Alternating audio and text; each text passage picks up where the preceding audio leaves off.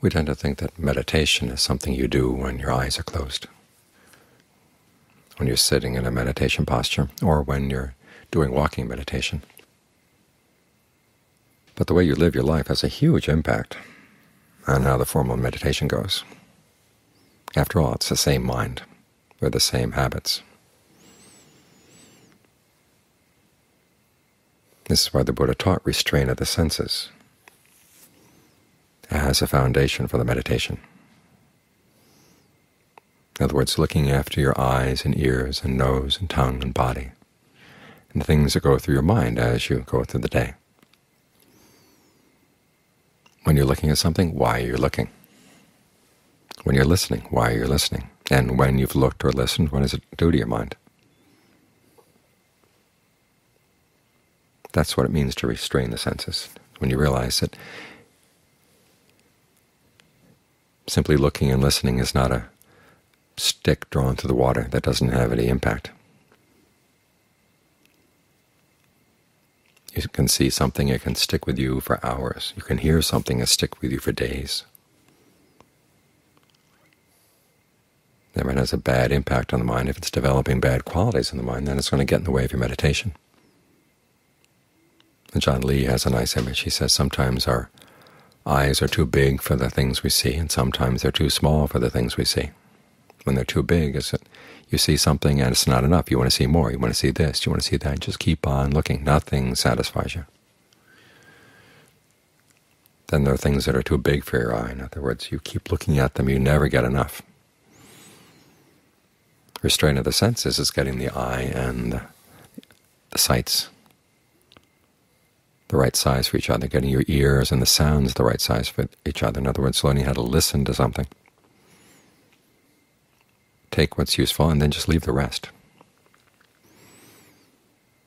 So that means you have to prepare yourself as you go out through the day. You're going to be looking at things. You have to ask yourself, who's doing the looking? Is greed doing the looking? Is anger doing the looking? Then you've got a problem. You want your mindfulness to be doing the looking. You want your alertness to be doing the looking. Try to develop your discernment to do the looking. The same with your listening. It's not like we're just sitting here perfectly normal with nothing happening, and all of a sudden something comes in and strikes us and either appeals to us or doesn't appeal to us. We're out looking for trouble often. Sometimes looking for sounds that we like. Sometimes we look for things that we hate. I mean, that's what this hate radio is all about. People actually have to turn it on to hear it.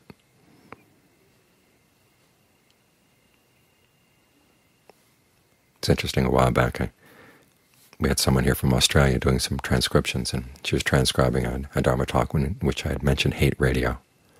And she put a big question mark next to it. Apparently that's an American phenomenon. But the basic truth is true all over the world, that when we look, it's not always innocent. When we listen, it's not always innocent. Sometimes we're looking for trouble. Sometimes we're looking for things to compound our lust. Something we're looking for things to compound our anger.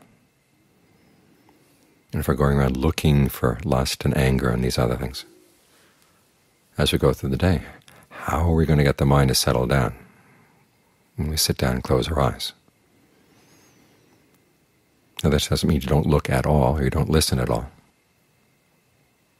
But it does mean that you have to be very careful about your motivation. And if you see that the wrong part of the mind is doing the looking or directing the looking, you've got to do something to change it.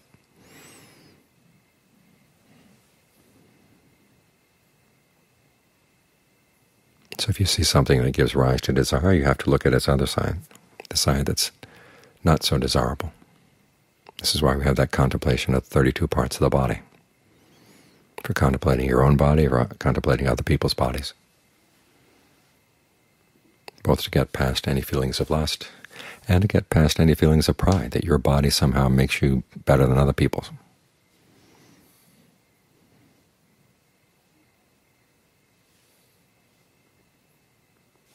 Same with listening. Sometimes you listen to aggravate your anger. Sometimes you listen to aggravate your desire. You've got to retune your ears. something sounds nice, we'll look for the opposite side. If something sounds bad, look for the opposite side.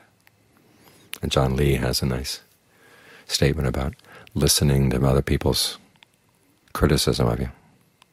This is when they start calling you a dog. Remember that dogs don't have any laws. They can do as they like. In other words, when other people are not giving you the chance to impress them, okay, you don't have to go around trying to impress them. That frees you up. If you can listen to things in this way, then you're putting the mind in the right frame to meditate, and so on down for all the other senses.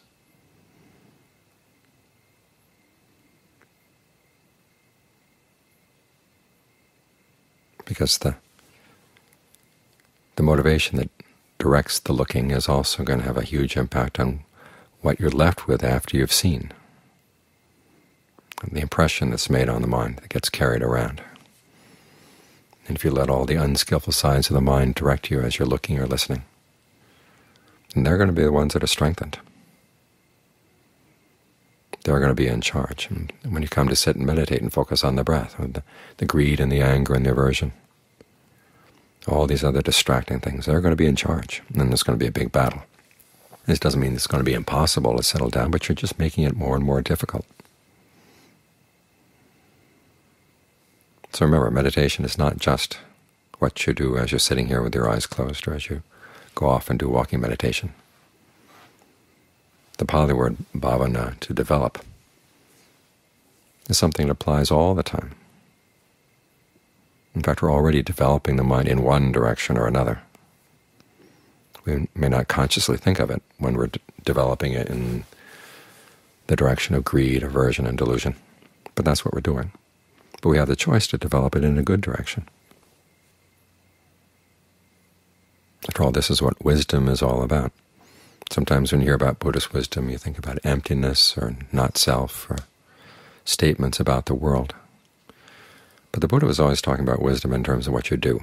And the original question for wisdom is, what when I do it will lead to my long-term harm and suffering? What when I do it will lead to my long-term welfare and happiness?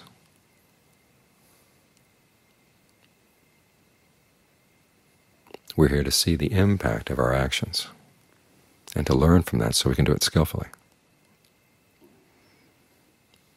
The basic distinctions of the Four Noble Truths and the unskillful cause, craving, leads to an undesirable result, stress and suffering.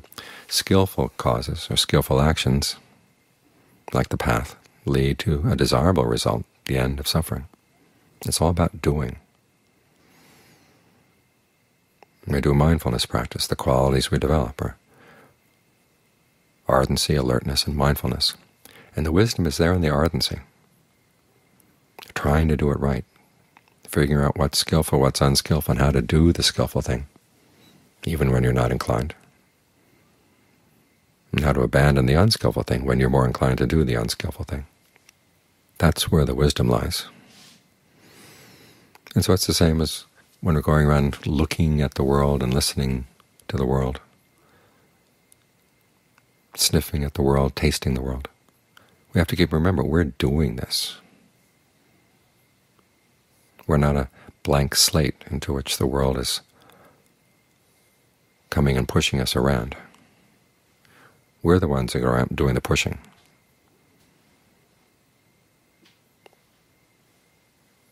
So look, at who's doing the pushing in the mind as you look, that makes you want to look, and the way you look. And if you see that it's an unskillful member of the committee of your mind, okay, do what you can to counteract it.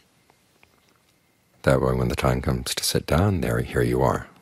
You're already looking after your mind, rooting out what's unskillful. And sitting down and closing your eyes simply gives you a better chance to do it with a lot more subtlety, with greater depth. But it's all part of the same process, because after all, it's, it's all the same mind.